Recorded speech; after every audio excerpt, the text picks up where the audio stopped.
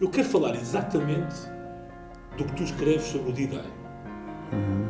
O desembarque da Normandia, visto como uma metáfora para o meu desembarque enquanto compositor. Uma longa guerra comigo para definitivamente assumir as minhas palavras. O que é que aconteceu? É isso, é, é uma vida inteira na música como intérprete, a aperfeiçoar-me para, para ser criterioso, para honrar as palavras que outros escreveram.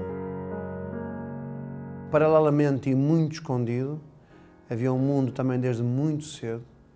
A minha primeira composição com letra da minha mãe, a primeira canção, tinha para aí nove anos.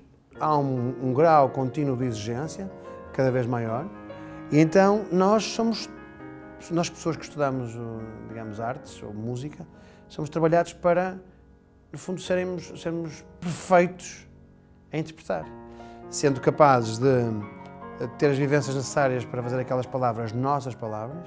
Portanto, gostarmos tanto da palavra do Mozart, dos textos do Mozart, eh, da música do Mozart, como se fosse nossa.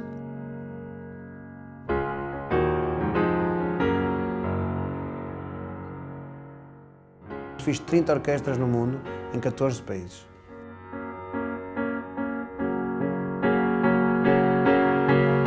Quando dei conta, ao fim de 40, e 40 anos, percebi que hum, já não estava feliz só com isso.